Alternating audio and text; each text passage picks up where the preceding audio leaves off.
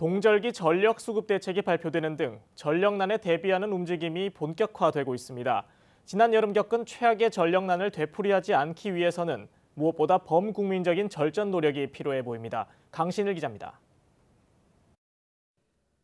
산업통상자원부는 지난 19일 발표한 동절기 전력수급 대책에서 규제가 아닌 자율준수에 초점을 맞췄습니다.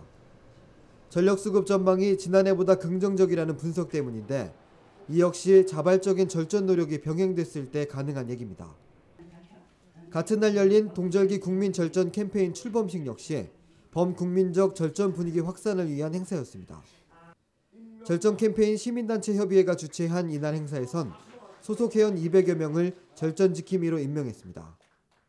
이들은 전국의 지역별 주요 상권을 대상으로 절전 홍보 계도 활동을 전개하게 됩니다. 에, 전기를 절약하는 것이 바로 발전소를 짓는 것과 마찬가지예요. 절전은 발전이다. 그래서 우리가 조금씩만, 그러니까 사실은 필요 이상의 낭비를 하지만 않으면 전기를 절약하면서 여러 사람들이 무리 없이 행복하게 지속 가능한 사회를 만들어 나갈 수 있습니다. 참석자들은 또 올겨울 20도 행복이라는 슬로건 아래 절전을 위한 행동 요령에 참여할 것을 선언했습니다. 산업부는 절전 운동이 지속성을 갖기 위해선 규제와 단속 대신 국민들의 자율적인 생활 문화로의 정착에 힘쓰겠다고 밝혔습니다.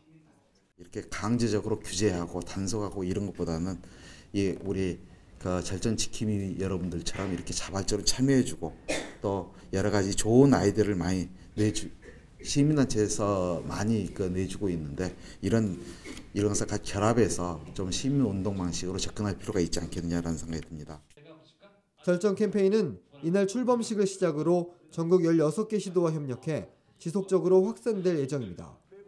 산업뉴스 강신일입니다.